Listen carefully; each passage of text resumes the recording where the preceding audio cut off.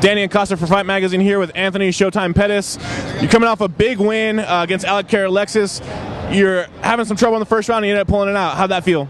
Man, it was great. I mean, Alex was a tough guy. Uh, he took some big shots, and uh, I ended up getting him in a submission. You know, second round, I felt him quit a little bit, and I secured the triangle, and it was felt great, man.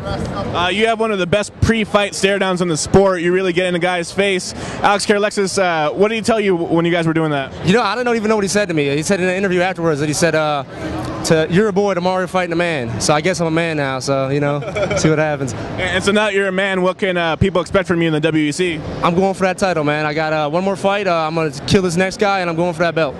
Uh, when do you expect to fight again? August, uh, end of August, uh, early September.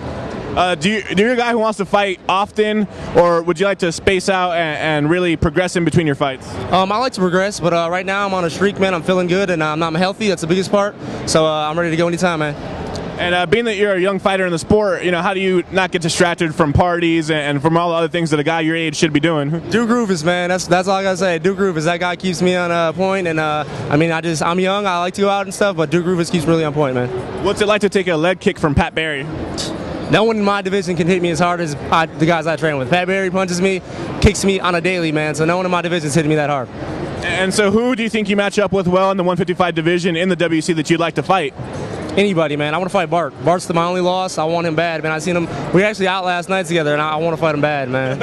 and what was that like? Uh, you know, hanging out with someone that you've been in the cage with. I mean, it's just it's, it's business. I mean, it's a business. It's a in the cage where I don't like him, but out the cage, it's whatever, man. You know, we're all cool. It's a business. Uh, how far do you feel you are from title contention? One fight, man. I already got a word. If I win this next fight, I got title shot. Anthony Showtime Pettis. Any last words for fans? Uh, thanks you, thank you for uh, doing an interview, man, and check me out uh, August to September. I'm coming for that title.